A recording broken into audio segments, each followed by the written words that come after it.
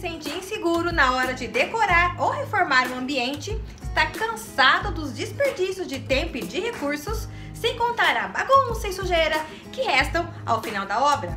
Então cadastre-se na Semana do Design de Interiores que acontecerá do dia 10 a 13 de outubro, onde eu vou compartilhar todos os meus princípios para você desenvolver bons projetos e acompanhar uma obra com segurança e economia.